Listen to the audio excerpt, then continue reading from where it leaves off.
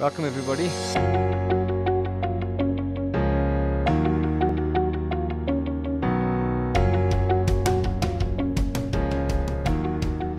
Welcome to everyone listening or watching. Glad you could join us. I really hope today's message will have practical application in your life as it did with mine.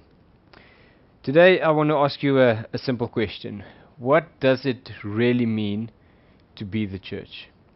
Or put in a different way, what does it take to be the church? What does it take to be a believer? Now, you've probably heard this question being asked many times before in in many sermons, and that's because it's been preached so many times.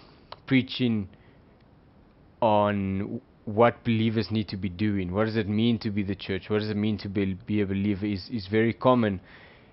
For the last I to almost say 100 years that that's been a topic on many churches' lips. And the reality is we can't keep we can't keep preaching on the same thing over and over and over again.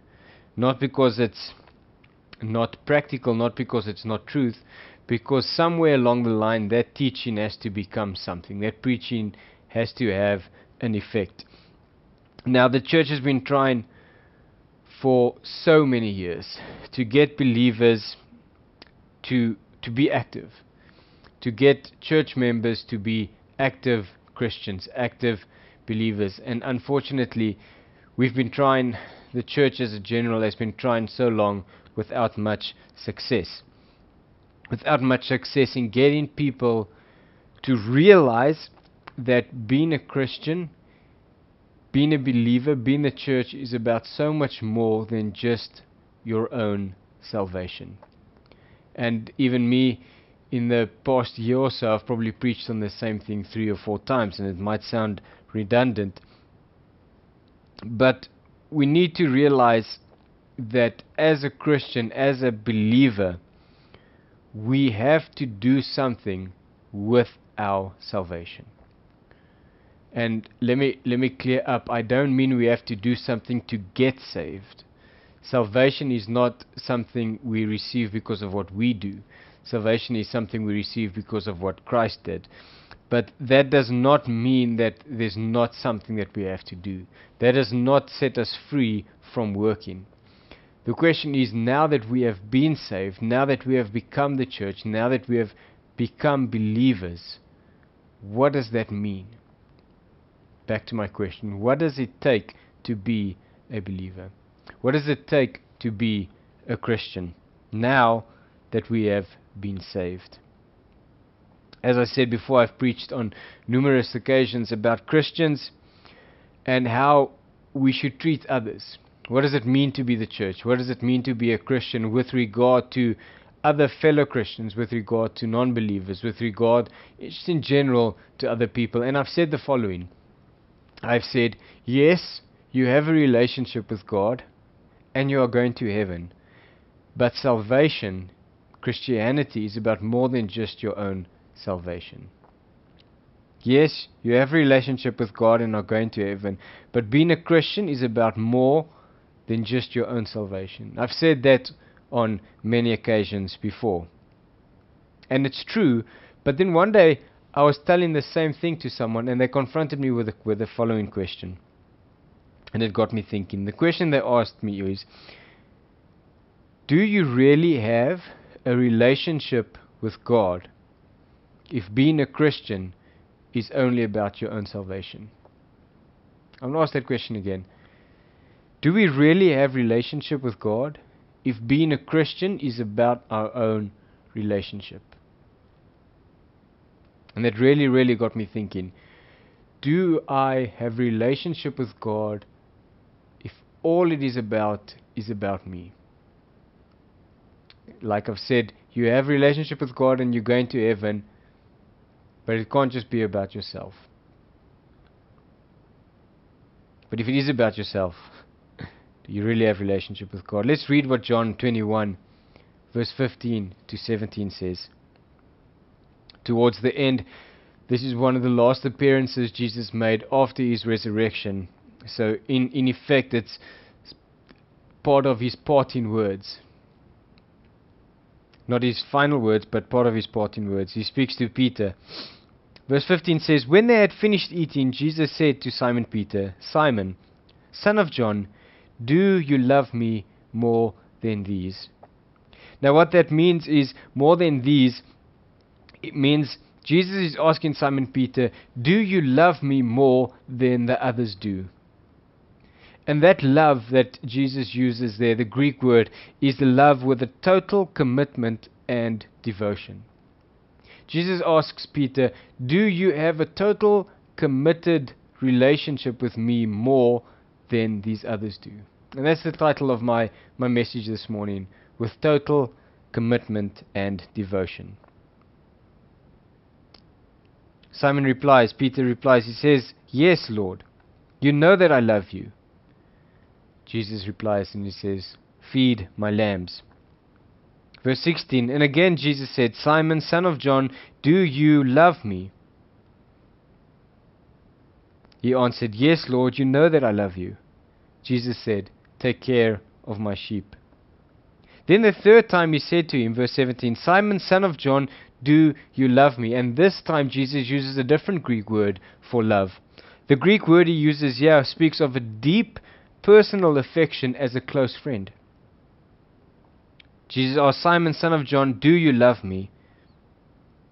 And Peter was hurt because Jesus asked him the third time, Do you love me? And he said, Lord, you know all things. You know that I love you. And Jesus said, Feed my sheep. What does all this mean? What is happening in John 21? It simply means that we have to recognize how important people are to God and then act accordingly. You see, Jesus connects the two. He brings the two together. For Jesus, a committed, devoted relationship with Him will automatically include taking care of His sheep. When Simon Peter answered, Yes, I love you, Jesus says, Feed my sheep. And we have to ask ourselves that same pressing question Do we love Jesus with total commitment and deep personal affection? And then, if we answer yes, we too have to respond and say, We will take care of his sheep. Do we love Jesus? We must take care of his sheep. I want to read for you James 1, verse 22 to 27. It says the following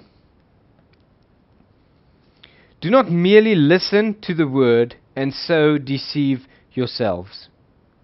Do what it says. Anyone who listens to the word but does not do what it says is like a man who looks at his face in a mirror, and after looking at himself goes away and immediately forgets what he looks like. But the man who looks intently into the perfect law that gives freedom and continues to do this, not forgetting what he has heard, but doing it, he will be blessed in what he does. If anyone considers himself religious and yet does not keep a tight rein on his tongue, he deceives himself, and his religious religion is worthless. Verse 27 Religion that God our Father accepts as pure and faultless is this to look after orphans and widows in their distress, and to keep oneself from being polluted by the world. What James does is he addresses two of the things that I've spoken about above earlier.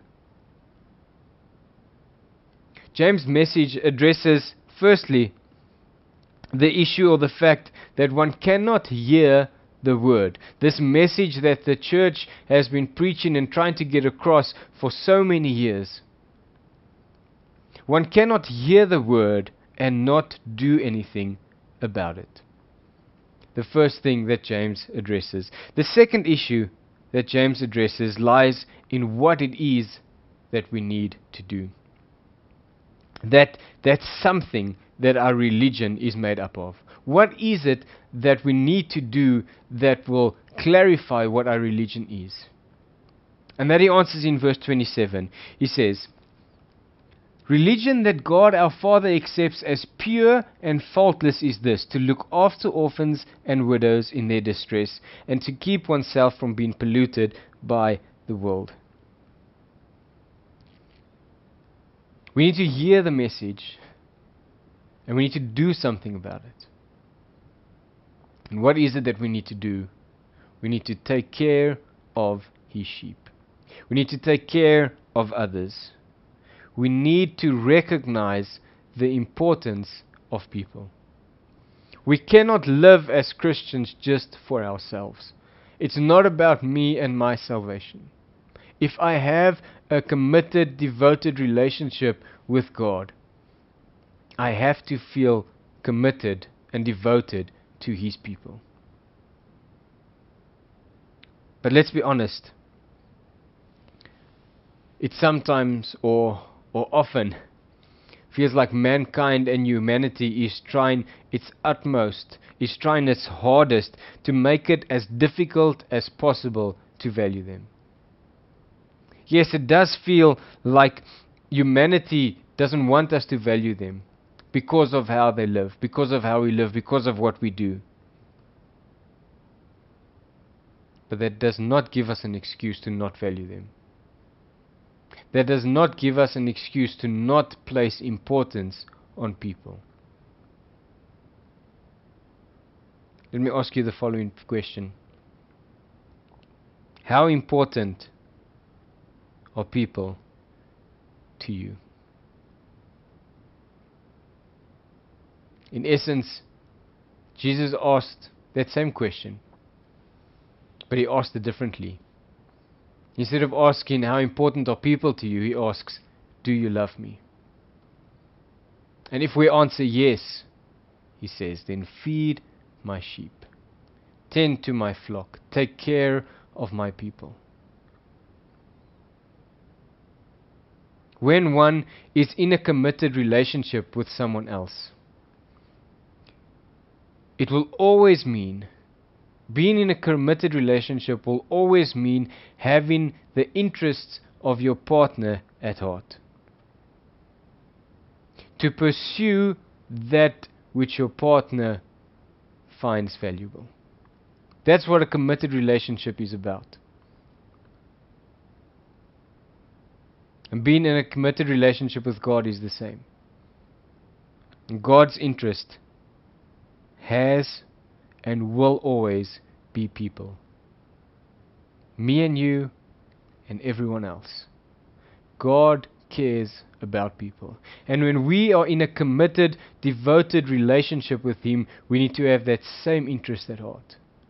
We need to care about people and not just about ourselves.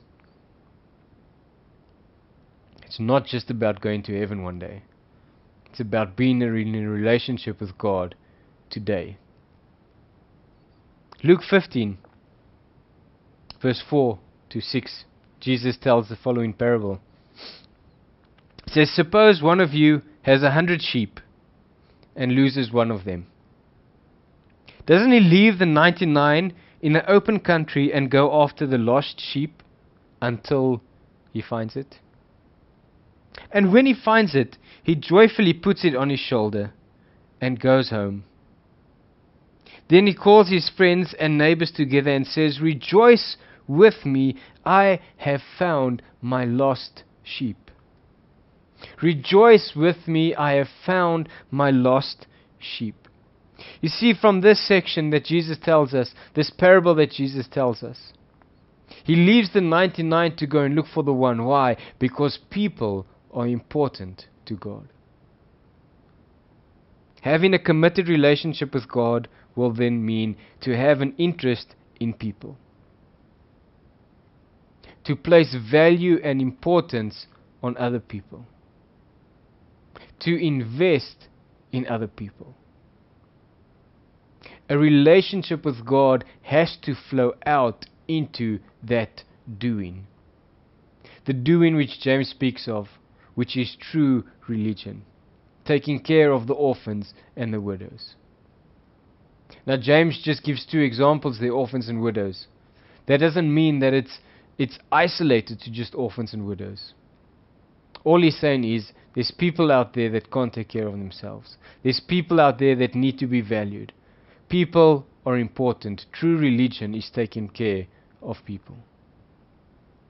Now, I understand very well that people have different personalities. We call them introverts and extroverts. Some people excel in the company of others. Put them in a crowd and they're at their happiest. Put them around people and you see them flourish. Where other people excel in their own company. Put them alone at home with a book, just some music, maybe the dog or the cat, and they will excel. They will flourish on their own. I understand people have different personalities. What I'm talking about the, today is not of becoming a social butterfly. I'm not talking about becoming more social with other people. That's not what today's message is about. Today I'm speaking about the attitude we have towards others. How much value and how much importance do you place on people? Said in another way, how important are people to you?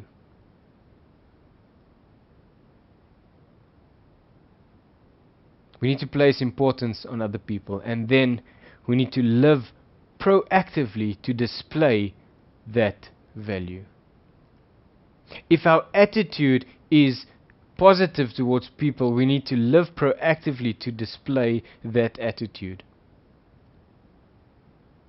And I can't give you a specific example of what you need to do.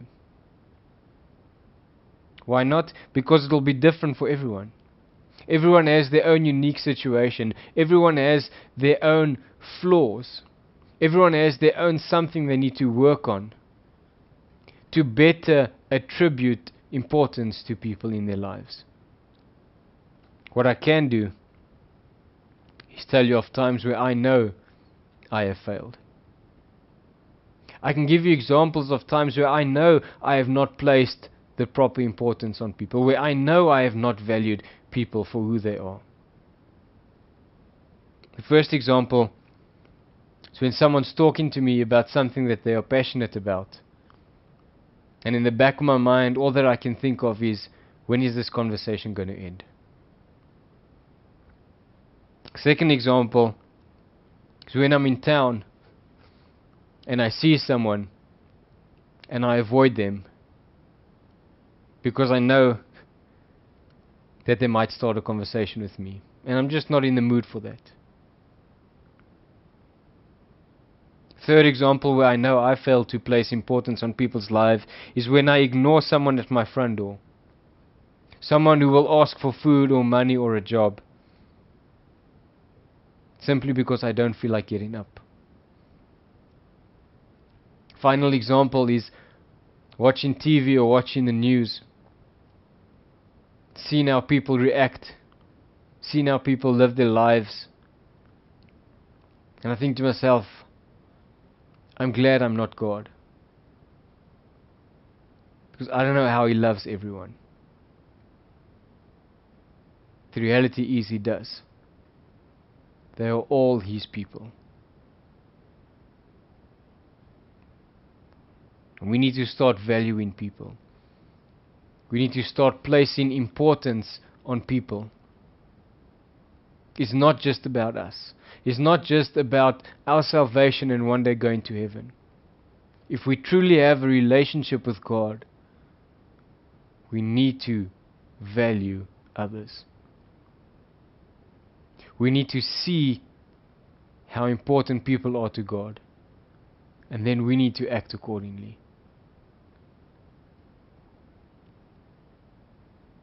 I have an idea, and I hope it might be so, that this lockdown that we find ourselves in, that people will be forced to be more proactive in their recognition of people.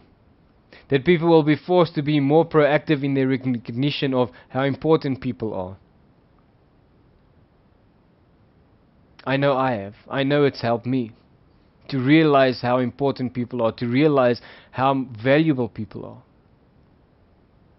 And I also hope that people will become more proactive in their in themselves as the church to realize that we can't just be dependent on on our congregation organizing something so that we can do something about our religion. Because the church can't organize anything. We need to do it ourselves. We each and every one of us have our own ministry field.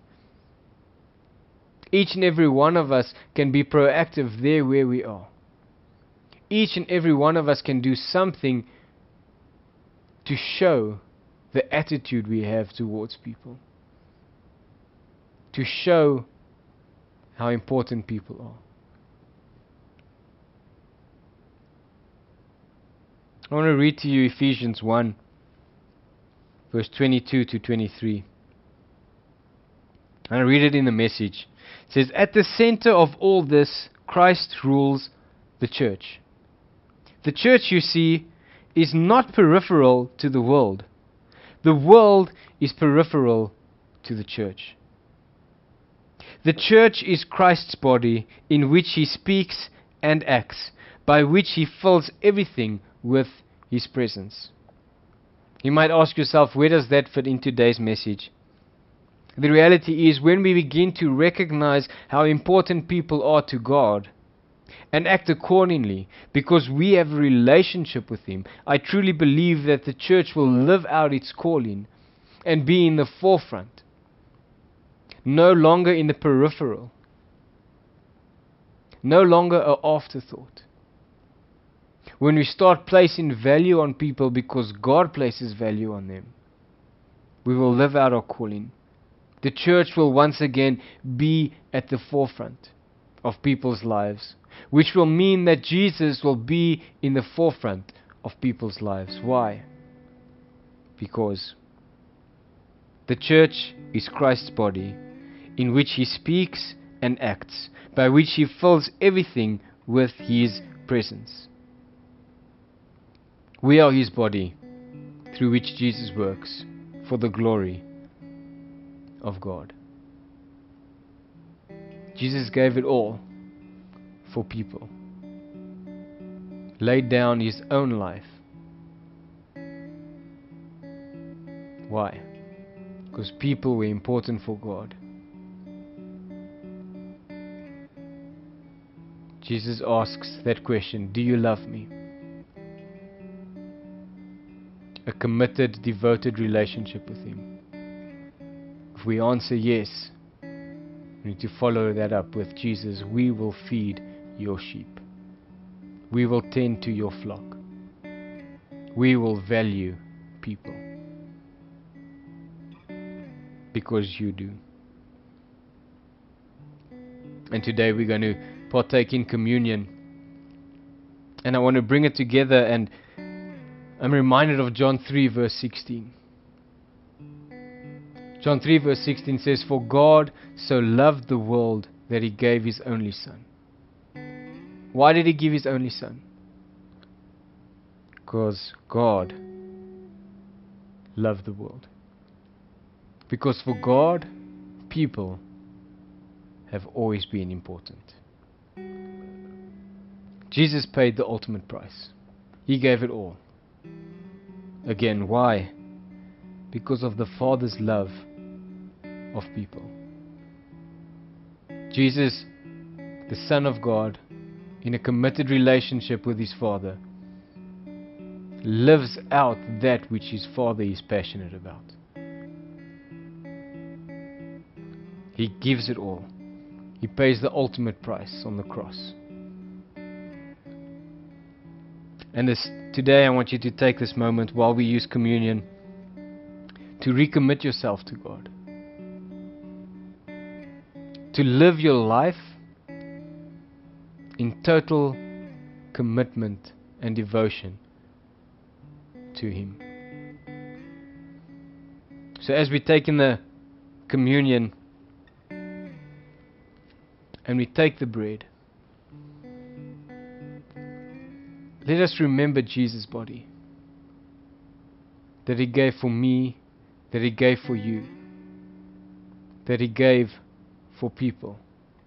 Because people are important. Likewise, when we drink the cup, let us remember Jesus' blood that flowed for me, for you, for people.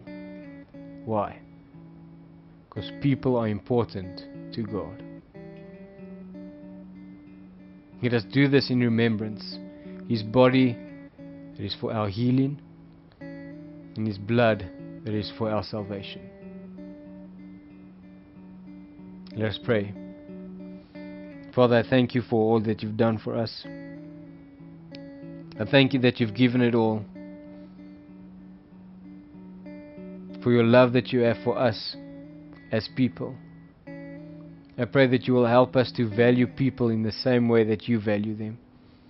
And that when you ask us that question, do we love you? We will answer yes, and our lives will reflect how important people are to us.